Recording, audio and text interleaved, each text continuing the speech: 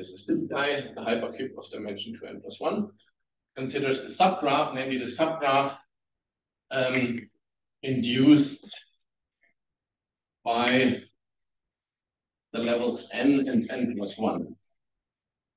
And the claim is that this subgraph has a cycle. Okay, so let me explain all the, all the terms. So we're looking at this hypercube of odd dimension, but the vertices are binary strings of length 2n plus 1. Edges are between vertices that differ in a single bit. And we look at levels n and n plus 1. So these are those vertices that have precisely n. Many ones are n plus 1 of them in them. And this subgraph, if you look at it as a, as a lattice, so where the subgraphs are ordered by inclusion, then these are the two levels in the middle. And we look at this bipartite graph, so here's a picture, equals one.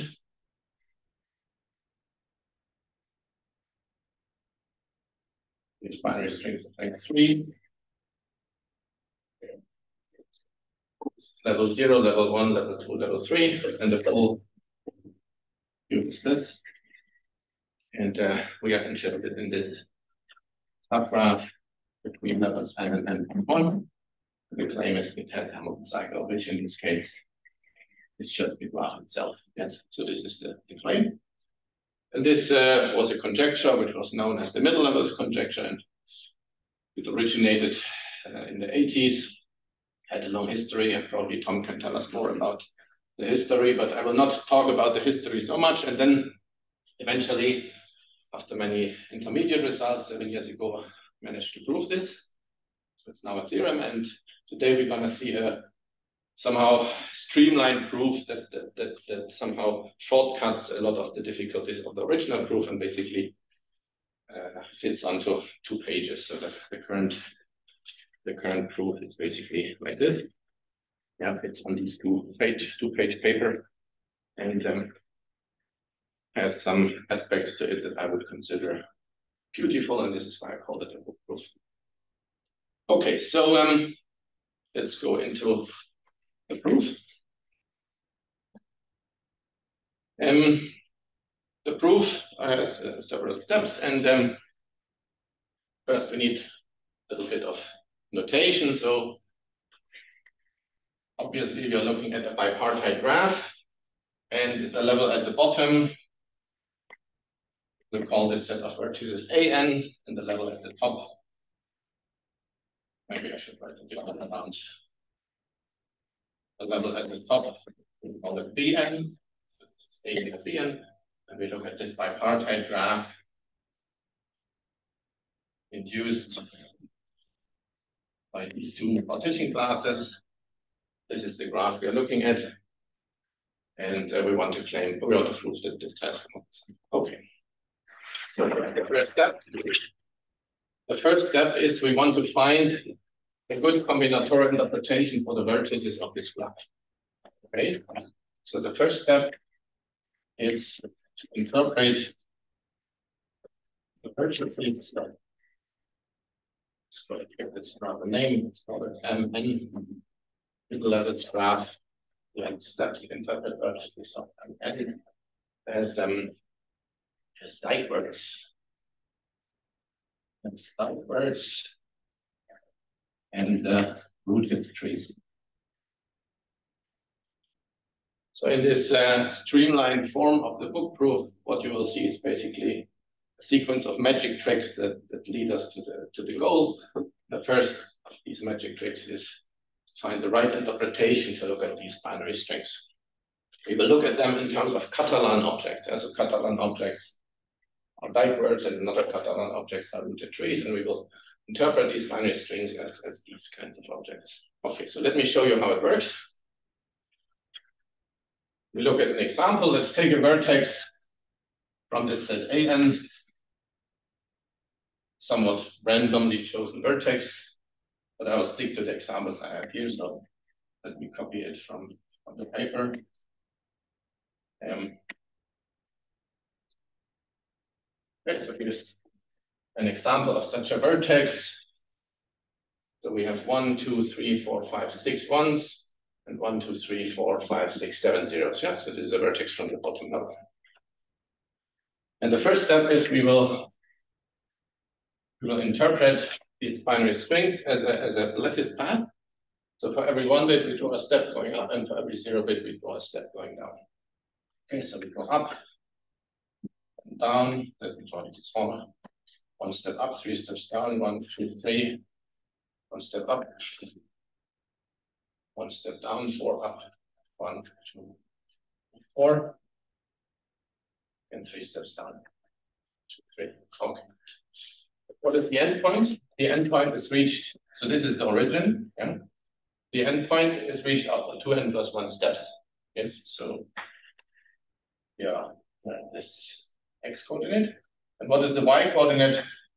It's uh, it's minus one because we have one more zero than, than once. This is why we end here. And now um, what we do is we look at this, we look at the at the valleys, at the deepest points of this of this thing. Here. So what is the lowest, the lowest tangent here? Okay, this line. And it touches this at one or more places. And you look at the leftmost of these places, And instead of looking at the string from here, you look at the string from here. Okay. Meaning you look at it from here and then you continue here. Okay. So you see this thing. And then you continue with these steps up, down, down, down. Up, down, down, down. What do you see? You see a path that stays above this red line plus this last step going down. Yes. This is what we call the Dyck word. Okay. So this this this thing, this this this this this general vertex has a substring, which I, if you read it starting from the correct position, yeah. you read it from here, then you see a substring that we call a Dyck word. So let me let me write it. Um, so this um, this uh, string, let's call it x, which starts here. So x starts with one, zero, and so on. So it's this framed box. This x is what we call a Dyck word. So dn is a Dyck word length 2n. So Dyck word means every prefix has at least as many ones and zeros. In terms of lattice path, it always stays above the abscissa. It goes up n times, it goes down n times. And it, in total, it has length 2n, and then this is this extra zero bit in the end. So, so we can look at this y as, as what? As this x, which is this like string, plus the extra zero bit, and this whole thing shifted to the right, in this case by one, two, three, four steps. Yeah, so, so this arbitrary vertex, we can look at it as a Dyck word plus an extra bit plus some shift. And the shift tells you how many steps uh, from which position you have to read to, to, to see the, the. Yes. In this case, is a four. So sigma is cyclic sigma is cyclic right rotation. Yes, so sigma, when we apply it four times, this means we reach from the fourth position to see this, this. Okay. Um, we can do the same thing for, um, actually, I may want to continue. No, I think I'll write this here.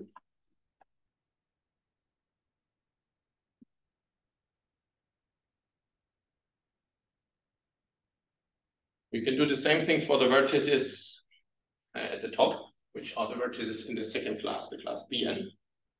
So what's it look like? Let's take some example vertex. Let's take this vertex. 0, 0, 0, 1, 1, 1. 0, 0, 0, 1, 2, 3, 4. Go the back. For the lattice path. 4, So this, so this is now from the other level, from the top level Bn. Again, we will end after two n plus one steps, and we will end at height plus one because we have one more one than zeros. Okay, again, we look at the bottom line. And we look at the rightmost point, and we go one more step up, and we look at this thing from here. Yeah. So what do we see? We see this part, and then followed by this. So we go up, up, up, and then down, down, down, one, two, three, up, up, up, one, two, three, down, down, down. And then this last thing going up. So again, this y, and again, if you read it from the right place, which in this case is from here, what we see is a Dyck word x followed by a one bit shifted a suitable number of positions. In this case, uh, one, two, three, four, five, six, seven, eight, nine, ten. Yes, you agree? Okay.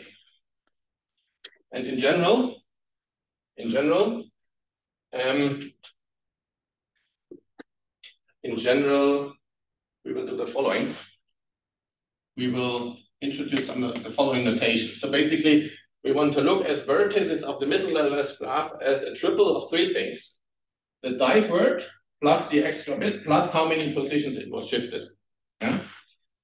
So we take a Dyck word, we take a single bit, and we take the shift. And those three things we put together, and this will be a vertex of the middle level graph. So it's a, what is it? It's take this diagram x, append this bit b, and shift it as positions to the right.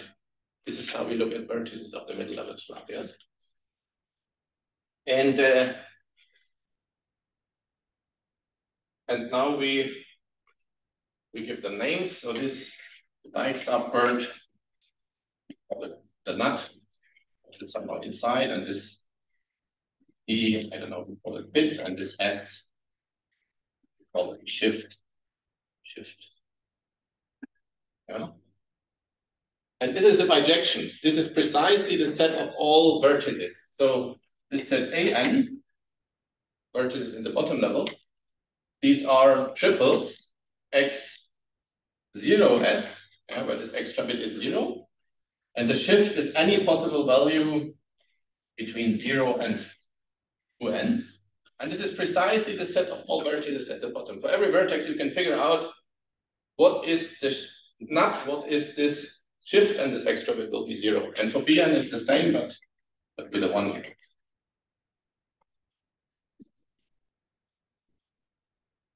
Yeah, this is the first step. You interpret vertices of the middle levels graph as these triples of things that involve these Dyck or these Catalan objects, in this case, Dyck words. So I should say this x is Dyck word x. Take a Dyck word, append a bit, and shift it by the number of positions. Let me convince you that the cardinality of these sets works out. How many Dyck words are there? This is the Catalan number. So this is the number of possible nuts. How many possible bits we have? Two, either zero and one. How many possible shifts we have? Two n plus one. This should give the right number. The number of vertices of the middle levels graph. What is it? Well, it's just uh, the size of A plus the size of B, which is 2n plus 1, choose n, yeah, because you have this many bits and you choose n of them, and you take it times 2 because you have two levels. And you can check that, that, that this is the right thing. This is just basically probability computation that what I'm doing is makes sense. Okay. And um, what we also do, a very useful interpretation of these of these uh, Dyck words, we will look at them not as Dyck words, but as root trees. Okay. So how do we build a rooted tree from such a Dyck word? Uh, we will we will grow the trees from bottom to top, and we will start with the root. And basically, what you do is you you, you squeeze this thing together, and you glue you glue these half edges together to become single edges. And another way to say it is you start here, for every step going up, you draw an edge, and for every step going down, you just go back to, to where you came from. Okay, so you draw an edge, you go back, you draw one, two, three, four edges, one, two, three, four edges. You go back three times, one, two, three, one, two, three. You draw an edge, you go back two times and you end the so this is just squeezing this thing together and gluing it to a tree, and then it's a rooted tree, and the root is at the bottom. Okay. We can do the same thing here. We look at this thing, we squeeze it together, and we get this tree, one, two, three edges going down, one, two, three edges going down. And this is this corresponding rooted tree. Okay, so um, so these digraphs are over here we look at them as rooted trees with n edges. So we have diagrams of length 2n and the gluing halves it, so we have n edges. This is why it makes sense to parameterize this by n, because n will be the number of edges of these rooted trees. Okay. So this is the first uh, step. Maybe I should leave it. May also use Yes. other dots. I may use the other box. Okay, why not? Let's do this. Yes, you can change that. Okay. So this is the right interpretation as we should see in the next step. The next step is ultimately we want to build a Hamilton cycle and we do an intermediate thing. We build a cycle factor, a collection of cycles which together visit all the vertices in the graph. And then in the third step, we will glue the cycles together to a single cycle. But let's do this intermediate cycle step. And we will build a cycle factor and we will build this cycle factor by defining a bijection, which um, basically, so A ends level down here and B ends level up here which which for every guy down here sets and defines what is its partner up here and, and the other way around. These will define two perfect matchings, and we take the union of these two perfect matchings. This is exactly what, what you did in your papers with uh, yesterday.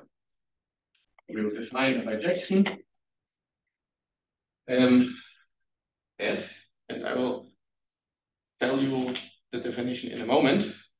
But in order to define it, um, I will need some uh, auxiliary rotation, and this is the notion of tree rotation. So what is a tree rotation? So um, we are looking at a rooted tree from the set Bn, rooted tree with n edges, x the set Bn.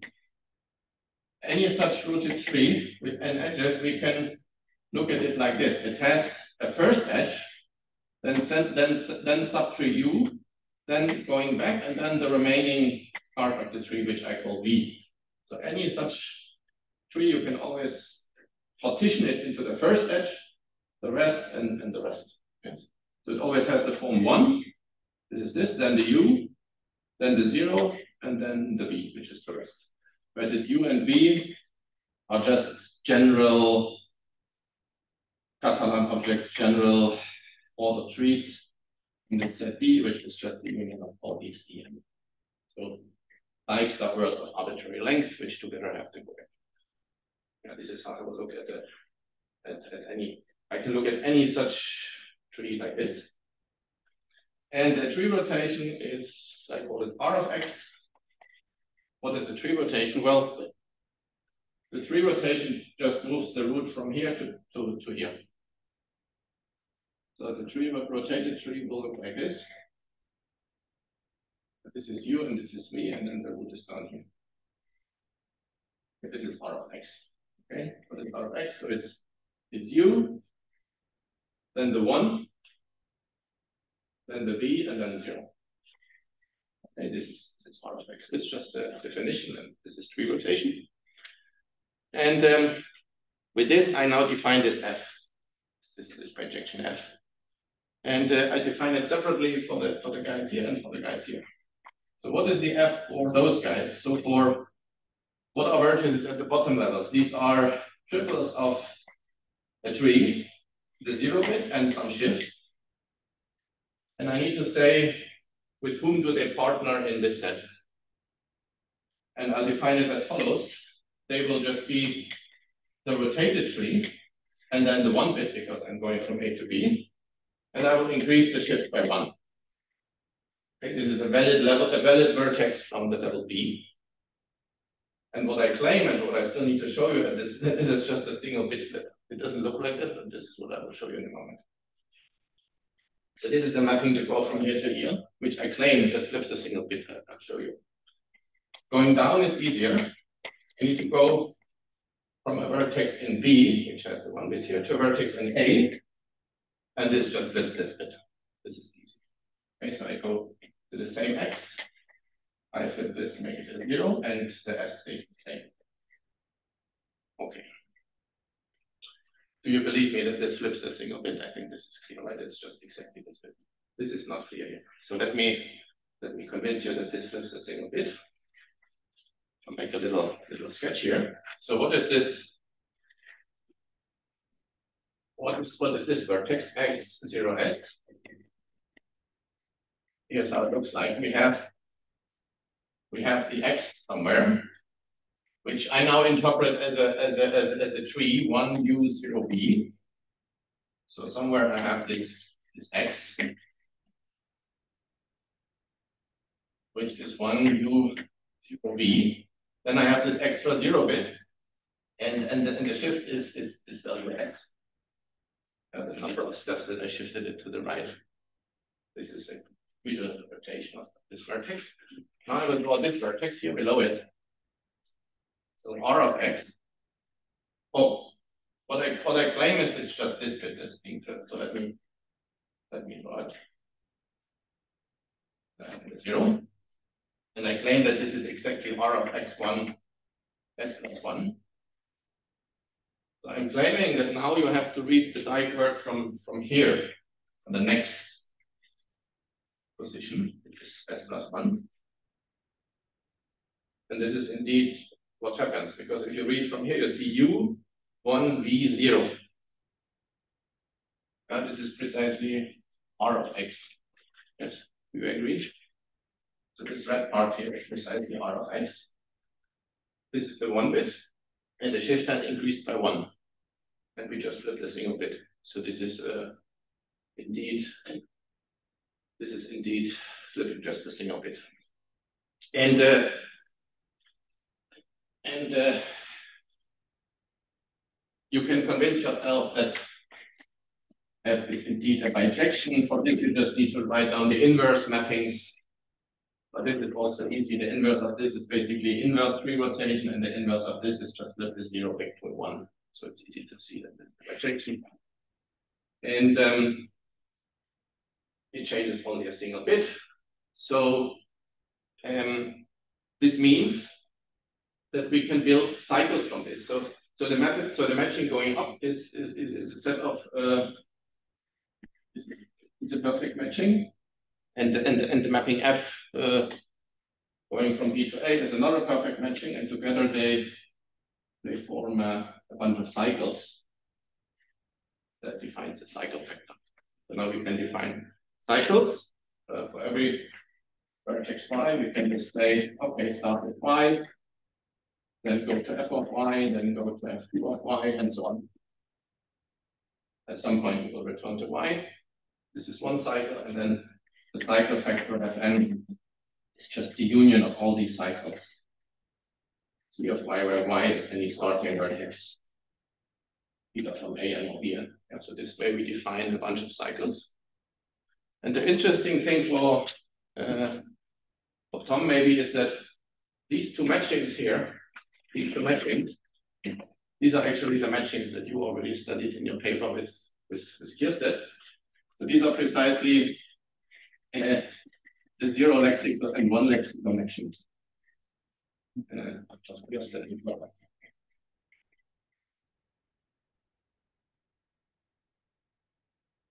it's, it's nothing new, but it's somehow described in a tricky way with this, with this tree rotation.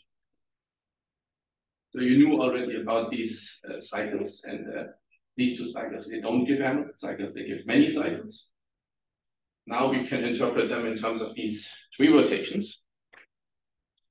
Um, because what we will do now, we will now try to understand what happens if I start at a y and I apply the f going up and the second time going down. I want to understand what happens after two steps.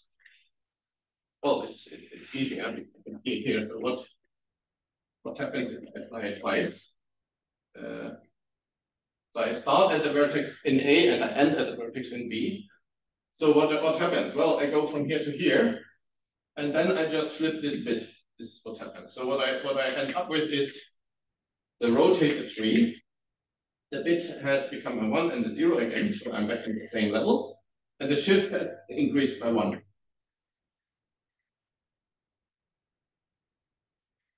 Yes. So this tells me what happens along the cycle. What happens along the cycle, two steps going along the cycle is the same as rotating the tree and increasing the shift by one. Yes.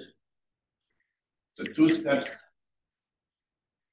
along the cycle is the same as rotate the tree and incre increment the shift incremental shift. Yes? So I have a precise combinatorial understanding what happens if I walk along the cycle.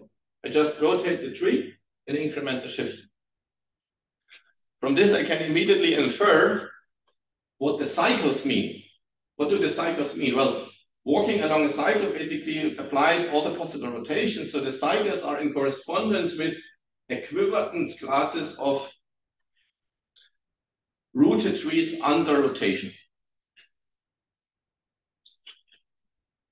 Yes. So the cycles of this factor Fn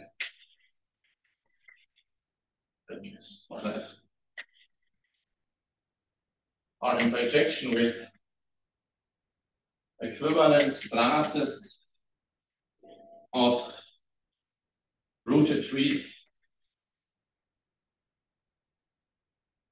with n edges under tree rotation under rotation. Yes? So for example, let's do an example. Um,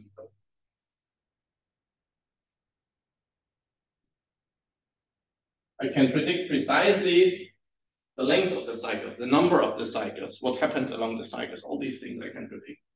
For example, if n equals 4, let's say, how many cycles will I have? Well, how many trees are there with four edges? There's this tree, this tree, and uh, and the star. Yeah, so there will be three cycles, and the one will be obtained by putting the root here, or here, or here, or here, or here. But then this is the same as putting it here.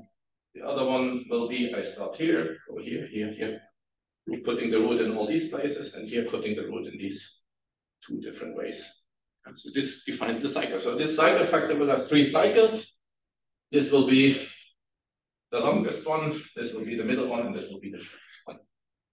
So I don't understand because you also have this uh, shift, shift component. Yes, very good which, point. Uh, very good point. I'm trying to I try to cheat, but you you spotted it. Uh, um, what I'm claiming is that all for a particular rooted tree, all the shifts are in the same cycle. This is what I'm claiming. Yes. So this rooted tree with shift zero will be in the same cycle. This rooted tree with shift one, all the shifts with the same rooted tree will be in the same cycle. This is what I'm claiming. Why is it so? Um, this is the following. So the tree, the tree has n edges, and um, so, let, let, let's assume for the moment that uh, there's uh, so so n edges means there's at most two n ways to put the root. So let's say there's two n rooted um, two n rootings of the same underlying tree. In this example. And why are all the possible shifts of these routings in the same cycle? This is because uh, there are two n plus one possible shifts. There are two n plus one possible shifts and two n rootings, and these numbers are co-prime. And this is why when doing rotation and adding the shifts plus one, I will eventually accumulate all the shifts of the same rooted tree. You see what I'm saying? Yes. And this is true more general because these number of different rootings is always a divisor of 2n, t2n, and therefore it's never a divisor of this number. And this is why all the possible shifts of the same rootings will always be in the same cycle. Yeah, is it convincing? So there's a divisibility argument why all the shifts of the same rooted tree are in the same cycle. Yes, this is what I'm claiming here. So this is why uh, why this is true. So yeah, so that there's different ways to put the root and different ways to put the shift, but all the ways of placing the shift are in the same cycle. Good. Uh, so we have a combinatorial interpretation of the cycles. We know how long they are, how many there are, and what it means to walk along the cycle. This, this is what we have here. And now comes the last step. We need to glue the cycles together because now we have here a, a cycle factor with three cycles, but we want a cycle factor with one cycle because we want a Hamilton cycle, yes. So we need to glue them together.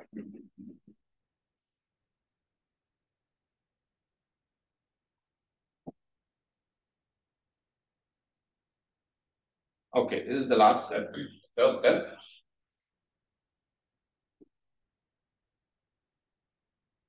Glue cycles together.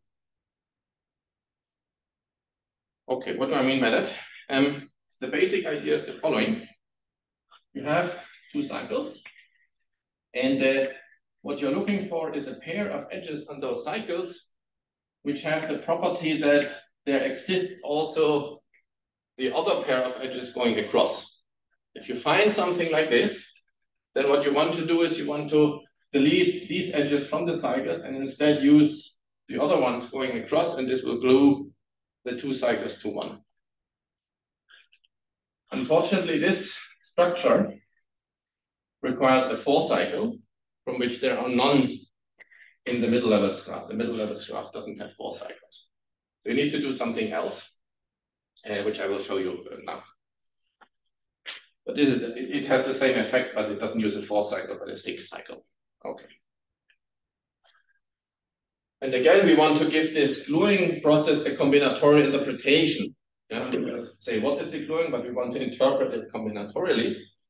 And for this, I want to introduce the notion of what I call the pullable tree. So it's a special kind of rooted tree which looks as follows. So down here is the root. That there's two edges like this, and then there's a sub tree here, what we call U, and another sub tree V that is here. And the binary string representation of this whole thing is a one. A one, another one, then a zero, then the U, then the zero, and then the V. Yeah, this is this is one of these like words. This is a special tree. Not all trees have this because not all trees have this pending edge here. So this is a special kind of tree which I call pullable tree. And to a pullable tree, we can apply what we call a pull. Um, and this we and this tree we call P of x. So this is x. And here's P of x. P of x is obtained by putting this edge here. So let me first draw the picture. So it's the root is down here. And then there's two edges, and then the u is here, and the v is here. So this this this edge here has changed the place. It's place. It's attached here, and now it's attached here. So the, the binary representation is one zero and then one U zero, one U zero, and then V. So two bits change. Okay. Why is this uh, a useful concept? This, this notion of pull trees. For this, I will draw a picture.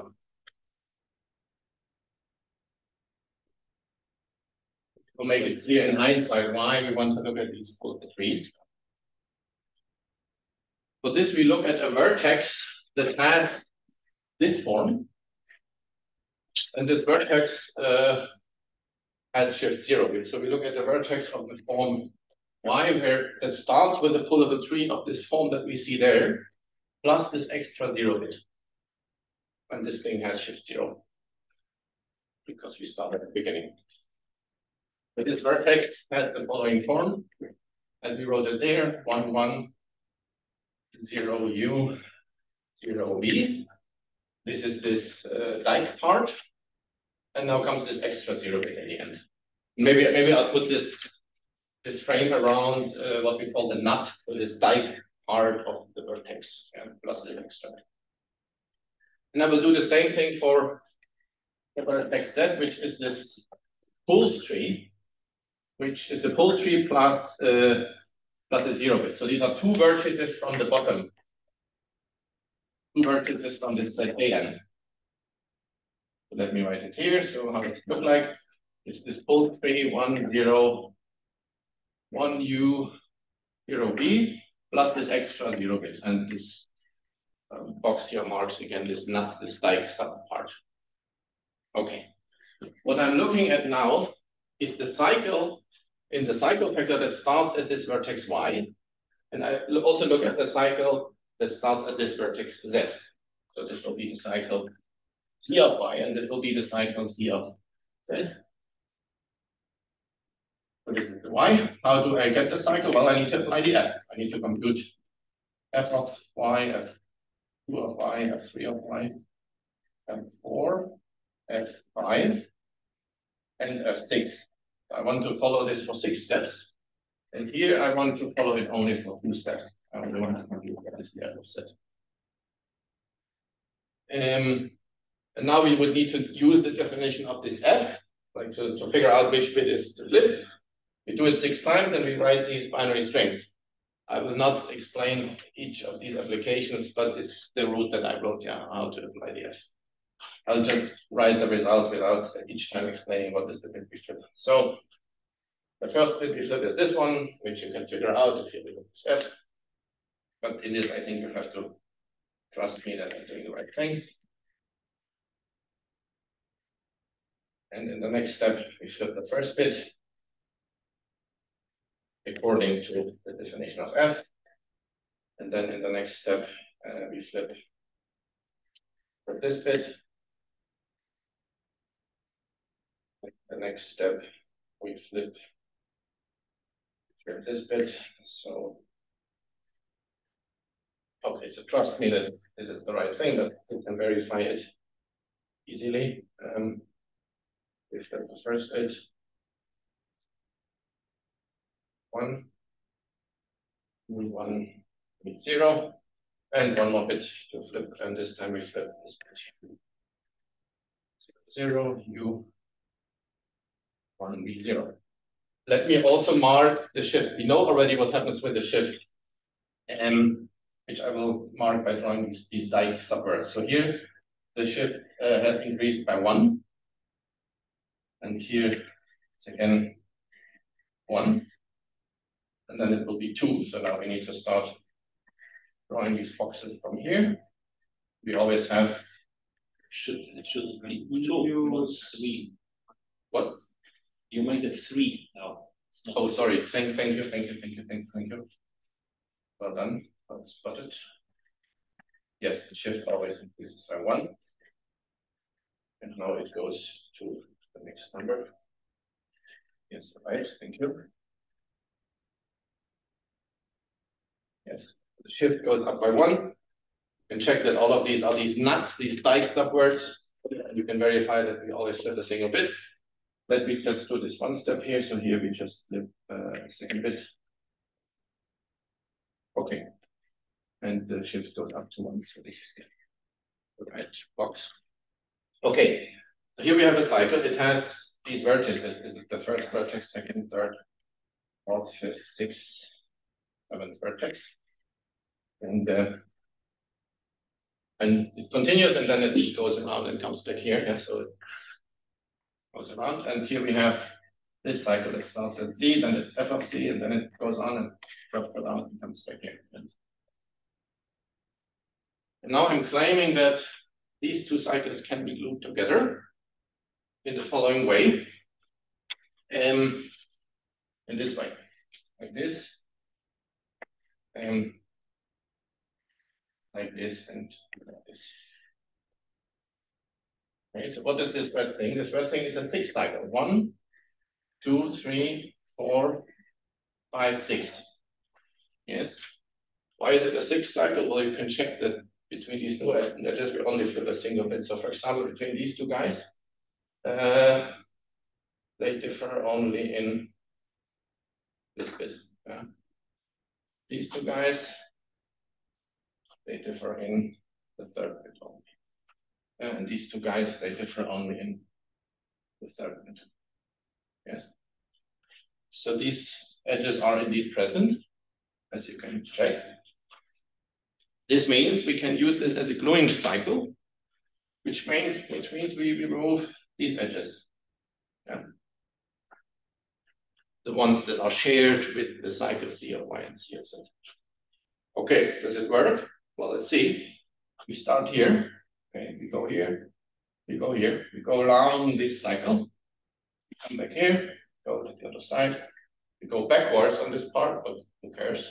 We go forward and then we pick up the rest. Okay. So it does work. Yeah. It's a bit more complicated than the full cycle gluing, but it still has the same effect. I can glue the two cycles together and make C of Y and C of Z a single cycle by taking the symmetric difference. Okay, that's this, this, this red six cycle, we call it G of X. G like gluing, this six cycle, which is defined for this pullable tree X. So I can do this whenever I see a pullable tree X. I can find the six cycle, which allows me to join the cycle corresponding to this tree to the cycle that corresponds to this tree. Yes, the tree has been changed a little bit. And so the observation here is that C of y plus C of z, symmetric difference with this gluing thing, G of x, is a single cycle on the same vertex set as the two cycles that I started with. So I had two cycles, I take symmetric difference, I get a single cycle on the same vertex set. And now, um, aha, now we are almost done. Well, there's a little, okay, what we want to do now is we want to basically throw in all these gluing cycles. We take the original cycle fact, we want to throw in all the gluing cycles and then argue that they make this thing connected to a single cycle. However, there's one potential complication, namely, we need to argue that these gluing cycles are disjoint. It could be that one of these red gluing cycles comes here and another one maybe comes here and then they interfere with each other and this would be bad. We need to make sure that the gluing cycles are disjoint. For this, we look at, and we, we claim that they are vertex disjoint. I claim that the union of all possible cycles g of x over all possible pullable trees that the these cycles are all vertex disjoint. Seems quite uh, surprising, but it's true. This is what I want to argue.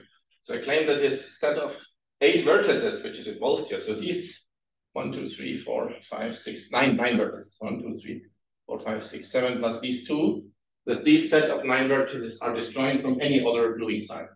So what are these vertices? So these are the vertices that I get from y by applying the f zero times up to six times plus uh, the vertex set and this f i one. So these seven vertices plus these two, this defines a set of nine vertices, and I claim that for any two, uh, so x and x prime are two distinct pullable trees, I claim that this implies that these sets are disjoint. Yes, this is the claim. This would mean that none of the gluings interfere with each other.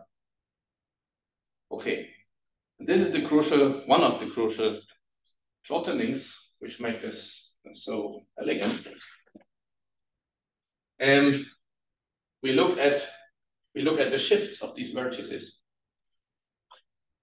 What are the shifts? Shift is zero, zero, one, one, two, two, and three. And here the shift is uh, zero, and here it's one. Yeah, so these are these shift values, these red numbers. And uh, now I look at two of these sets, and I wonder how can they intersect? Well, they can only intersect if the shift values are the same, because if the shift value is different, they cannot be the same. So a vertex with shift 3 can never be the same as a vertex of shift 1, because the shift is a, is a property of a vertex which, which doesn't change. So if if I if okay, so so so so assume that there is something in the in the intersection. So if this intersection is non-empty, where can the collisions lie? It can only be collisions between guys that have the same shift. Yes. And you also have to remember that you alternately visit vertices from A and from B. So this is a vertex from this set AN, I call it an A vertex. And this is a vertex from the set BN, and it always alternates. So if you, this is A and this is B vertex. So if two guys collide, they have to be both from A or both from B, and they have to have the same shift value. Otherwise, they can't collide. So what are the possible collisions between these numbers? It can either, the the only numbers that repeat here are the zeros and, and the ones. So if they match, and the, and the A's and B's have to match. So either this S of X uh, is this, and the S prime is this, or, uh, yes, so there's only three possible options. Either the collision is in this vertex between both cycles. So this would mean that x is x prime, which we rule out because we assume that we take two distinct trees. So these two cycles, they can never overlap in this vertex because it's the same thing. But they could overlap in this one, that this is the starting vertex of one side and this is the starting vertex of the other. So, or or it could be that the x is the same as the pulled string from x of y, or the other way around. Pulled of x is the same as x prime. Yeah, so this would mean that this vertex is the same as this of the other guy or the other way around. Yes, these are the only possible collisions. Like if these two sets intersect, then it's one of these three cases. This case can't be because we have chosen two different trees. And this can't be because a vertex like this has a one here and the pulled one has a zero here. So these two vertices can never be the same. Yes, so this is also ruled out.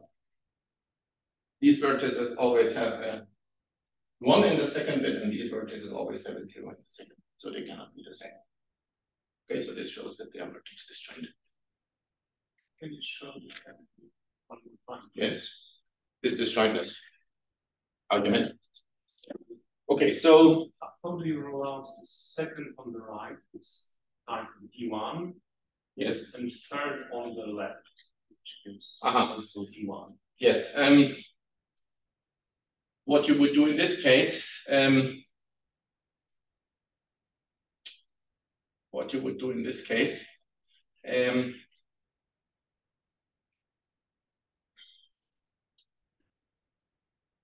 Um, let me see. Um,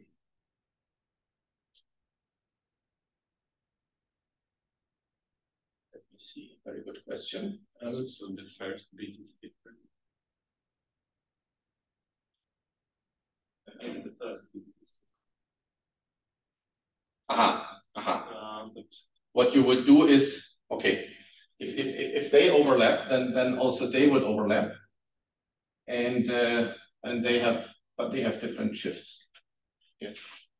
So two things, two things overlap. If, if these overlap, then then then then then this fixes all all the guys that I reach by applying f or f minus one. So then they would overlap, and this, can't because this is zero and this is one. Yeah, so these are the only possible intersections. Okay. Um, okay, so all the gluings are disjoint. So we have the cycles, they correspond to the trees. We have the gluings, they, they are help us to glue together pairs of trees that differ in the pull. And we can use all the gluings together because none, no two of them interfere with each other. And now we just need to put everything together. Okay. So how do we know that C of Y is different from C of Z?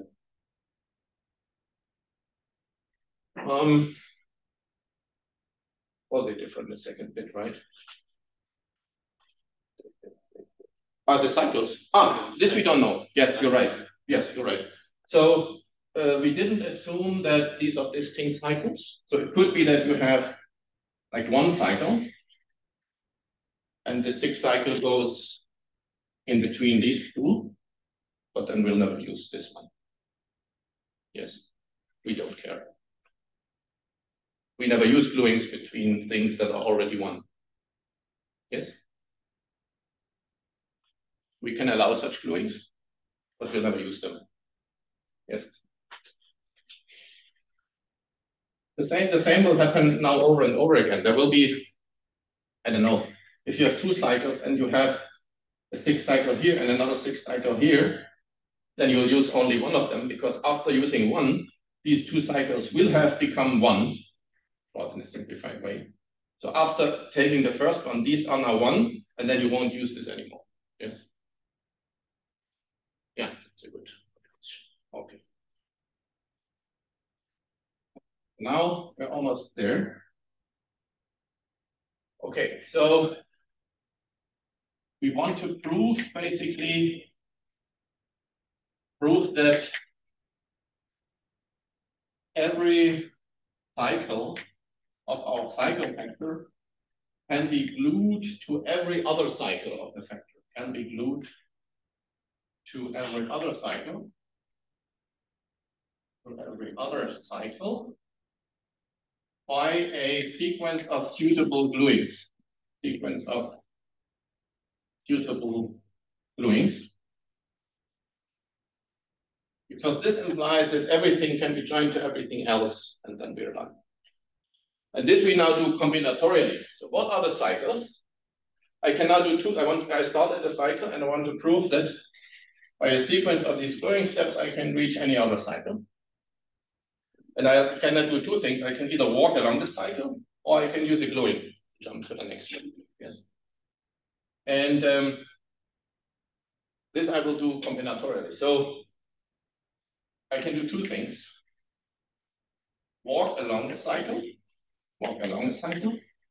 This is, what does it mean? It means applying tree rotations. Yes? Apply a tree rotation. This is what it means to walk along a cycle. And uh, use a gluing cycle means apply a pull operation. Yes, this is what it means combinatorially. Okay, so start at your favorite cycle, your favorite rooted tree, and I will do an example now. Let's say, and I try to make it a bit general. I don't know, maybe this tree. One, two, three, four, five, six, 14, so 14 edges, so n is 14. We want to move to any other tree, so this is the root one here. Uh, and it's enough to prove that we can reach one particular tree, which will be the star. So what we show is we can always reach the star. So this is a special target cycle or target tree. If we can join everything to this guy, then everything is connected. Yes. Okay. Okay. So here's down, down here's the root. I can walk along the cycle. This means tree rotations. So Uh, what I will do, I will use my finger. So this is the root. Okay, the root is here. So tree rotation means uh, the root moves. Um, where's the picture? The root moves in like clockwise. So the root moves here. Yeah. If I apply a tree rotation, the root moves here. And I, I could now redraw the tree, but I won't do it. I'll just keep my finger here. I can walk along the side. Yeah. This would be one thing. And I, or I can do this pull. But I want to get closer to this guy. So what I do is the following. I fix an arbitrary vertex. Let's say, um, let's say this one. And what I measure is, I call it B. Let's call this 3x. And it's the sum of distances of all nodes from this chosen vertex, which I call C. Distances from a fixed vertex C, fixed vertex C. So I fix a vertex C once and for all. This will become the center vertex of the star, by the way. This will be finally the center vertex. And I want to do pulls and rotations that move all these leaves closer to C. I will decrease, want to decrease this quantity in one step and then I repeat. Okay. What do I do? Well, I look at the C. I look at the subtrees that come out of the C if the subtrees are single edges, then, then I'm done. I don't need to do anything. If the subtree coming out of this C is not a single edge, but something longer, then I can do something to it. So I pick one of these things that is not a single edge. And I want to apply a pull to it. So I look at this subtree, I look at the leftmost leaf, leftmost in the sense of, well, clockwise looking. It's this edge. And this edge I want to pull and bring it closer to, to this center vertex. Okay, so what I, and for this to apply, I need the root to be here. So I do rotations until the root is in distance two from this leaf that I want to pull, and then I do a pull. So I take it away and uh, put it here. This means I want, went along the cycle and jumped one step to the next cycle. And what happened to this quantity? Well, it, it went down. I reached a new tree, x prime, which has now one less, uh, this quantity, yes? And now you can repeat. Uh, in the next step, you will pull this guy, you will pull it here. You can do it in arbitrary order. You can, you also at some point have to pull these guys, these guys. Uh, you do it one by one. Pull them next to each other. Maybe, maybe let's do a few more steps. Okay, so next thing, let's say we pick, so from now we look from here and we pull this guy, let's say. Yeah? So we pull it one step closer, pull it again. Okay, now this one is done. We'll never touch this one again. And now we'll pull this one. So now you repeat all the guys they they come closer with every pull to this fixed center vertex C. So after finitely many steps, you reach the star. And this is why this thing is connected.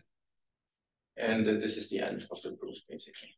So, okay, this last part was a bit visual, but hopefully convincing. Uh, so it works with these trees and this quantity that decreases sum of distances, which gets smaller as soon as you apply a pull. And this is the end of the pull. So thank you very much for your attention.